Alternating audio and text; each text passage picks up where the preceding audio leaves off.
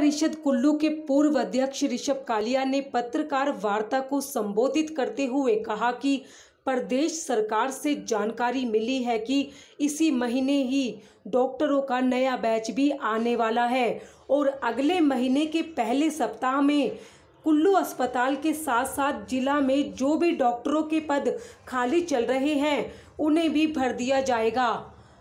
आइए देखते हैं क्या कहते हैं नगर परिषद पूर्व अध्यक्ष ऋषभ कालिया। की है। इकतीस अपनी सेवाएँ दे रहे थे। और दो डॉक्टर जो सरकार ने अभी हाल ही में डेपुटेशन किया था तीन डॉक्टर्स का, उनमें दो डॉक्टर वो ज्वाइन कर चुके हैं, अपनी सेवाएँ क्षेत्रीय अस्पताल कुल्लू में देना प्रारंभ उन्होंने कर दी है। एक गायने की डॉक्टर आई हैं और एक एमडी मेडिसिन आई हैं।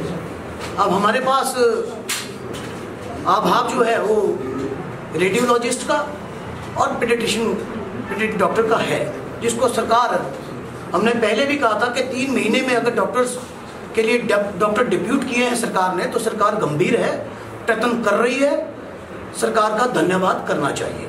आज आपके माध्यम से दो जो डॉक्टर आए हैं, मैं माननीय शिक्षा मंत्री जो हमारे ज़िला से सम्मानीय हैं, लोकप्रिय शिक्षा मंत्री जी और हमारे माननीय मुख्यमंत्री जयराम ठाकुर जी का समस्त कुल्लू की जनता की ओर से और जो भी इस क्षेत्रीय अस्पताल पर निर्भर हैं, उनकी ओर से धन्यवाद करता हूँ, क्योंकि डॉक्टर डिप्यूट हुए हैं। जहाँ से डिप्यूट हुए हैं, डॉक्टर को डिप्यूट करना आसान नहीं होता। वहाँ की जो स्थिति है, वो भी देखनी पड़ती है। और आज तैतीस डॉक्टर यहाँ पे सेवाएँ दे रहे हैं।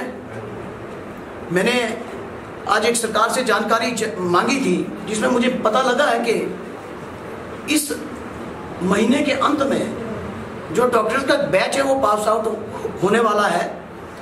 और जून माह के प्रथम सप्ताह या द्वितीय सप्ताह तक नई नियुक्तियाँ डॉक्टर्स की हो जाएँगी और सारी वैकेंसी जो हमारे यहाँ क्षेत्रीय अस्पताल में और अन्य हिमाचल में भी वेकेंट होगी, उससे इसमें हमें लाभ मिलेगा, नए डॉक्टर्स आएँगे। मैं एक बार फिर से, लेकिन जो ये, जो धरना प्रदर्शन फुटपाथ पे चला हुआ है, हमने पहले भी कहा था कि जो लोग डॉक्टर्स की कमी के कारण वहाँ धरने पे बैठे थे, हम उनका बहुत बहुत मान सम्मान करते हैं।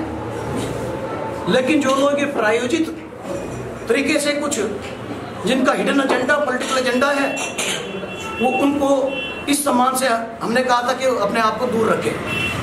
मेरा निवेदन आज, क्योंकि डॉक्टर्स आने शुरू हो गए आ चुके हैं।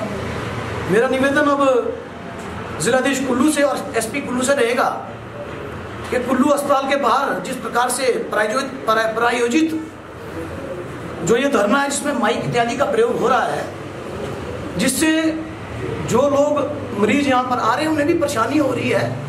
छोटा सा फुटपाथ है, उस पर लोग बैठे हुए हैं, चाहे दस बारह ही बैठे हैं। लेकिन तंबू लगा के बैठे हैं तो लोगों को मुश्किल हो रही है। वन वे ट्रैफ़िक है, एक तरफ़ से ट्रैफ़िक आ रही है, बच्चे स्कूल से आ रहे हैं। तो ये धरना जो है, इनको डालपुर ग्राउंड में मेला समाप्त हो चुका है। इनको अच्छे स्थान दें और इनको भी बाइक की परमिशन भी दें। और ये लगे रहे हैं अपना धरना करते रहें।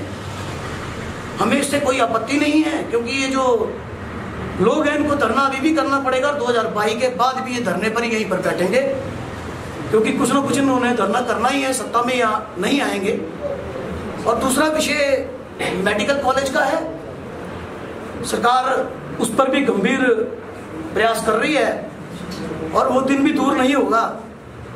जिस दिन हमारे माननीय मुख्यमंत्री जी, माननीय शिक्षा मंत्री जी, हमारा शीर्ष नेतृत्व मोदी जी, अमित शाह जी आदरणीय श्री जेपी नड्डा जी, श्री अनुराग ठाकुर जी, मेडिकल कॉलेज का तोहफा जो हर ज़िले को मिल रहा है, कुल्लू ज़िले को भी अति शीघ्र मिलेगा, ऐसी उम्मीद करते हैं और एक बार फिर से सरकार का बहुत बहुत धन्यवाद।